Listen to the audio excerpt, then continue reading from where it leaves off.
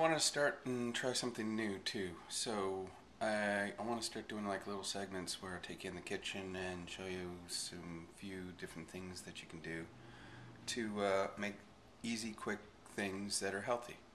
So today I want to tell you quickly, very quickly, obviously, how to make a nice, healthy hummus on your own. And this is to me is almost like my condiment of choice, especially when it comes to like sandwiches, or you can use it as a dip with raw veg veggies and stuff. Um, it's a great source of fiber and protein, and it's a really great thing to eat and very helpful for you. So, what I've got here is a couple cans of organic garbanzo beans, and they're organic, obviously, I said. Um, and the reason I got those is because when you look at the label, there's nothing but garbanzo beans, water, and sea salt. That's it. Um, you're getting a little bit of sodium in there, um, but great fiber, some protein, and it's quick and easy to do. So, what we're going to do is we're just going to take those. You can add the water to it. I'm going to put those right into my Ninja. Little Ninja. The other one as well. Okay. And then what we're going to do is we're going to add a little couple cloves of garlic. I don't want to take too big of ones, but I'll pinch the end off.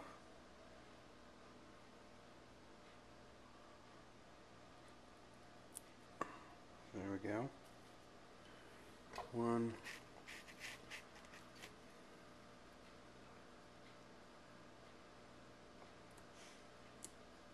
I like garlic. Two. I'll go with one more. Find a decent size one. Here we go. Come on. Just pinching the end off. There we go and in we go. And then I am going to add a little bit of an herb to it. And I love cilantro. Just love it, love it, love it. So what we're going to do is add some cilantro to it.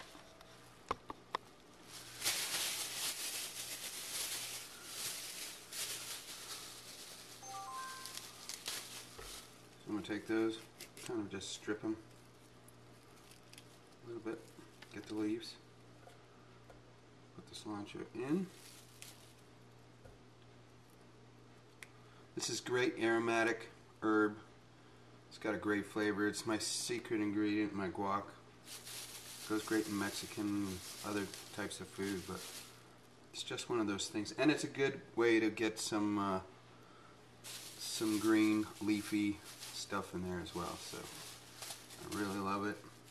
It's uh, actually a little bit can go a long way. So do that. And then actually to spice it up because I do like it a little spicy. I have chopped up a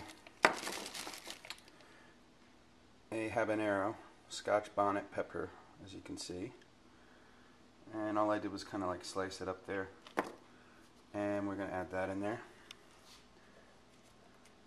as well. And this is so easy like I'm saying this is taking five minutes. That's in.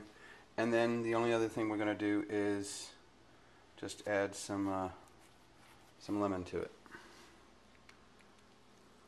So just squeeze in that lemon fresh lemon. Getting the juice in there. Get the other one.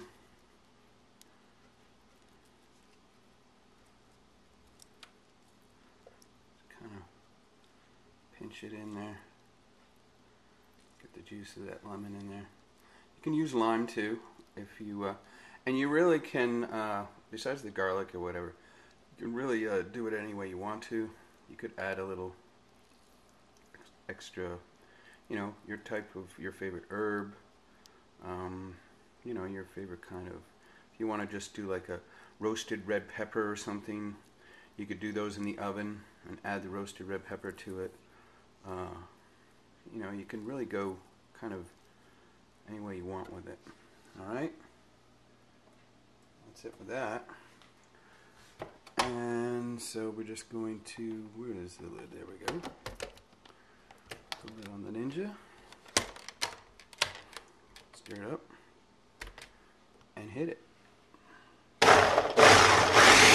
So the only thing I failed to mention and show you in the video is that because I was doing it spicy this time, I added an extra can of organic black beans to it too. Oop. So it's kind of making it a little more southwestern.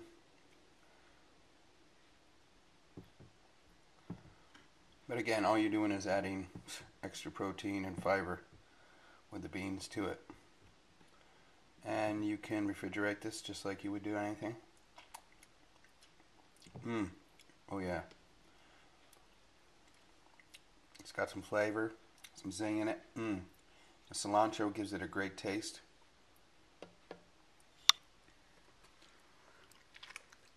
You can taste the lemon in it. You can do a lime if you want. Um, like I say, it's a great thing to put on sandwiches. Make a panini with some whole grain bread. Do some vegetables with avocado, spinach, tomato, onions, whatever they're. Put it in a pressed sandwich and use this instead of mayonnaise or condiments like uh, mustard or ketchup or something like that. And again, you can use it to dip uh, vegetables in and stuff. Heck, I even like it with eggs. You know, you could do a fried egg sandwich and, and put some of this on it, and it's rocking. A little bit of cheese on there. So uh, that's it. So uh, make your own hummus and uh, skip all the fat and all the extra crap that they put in that other stuff. So I'll talk to you later. Bye.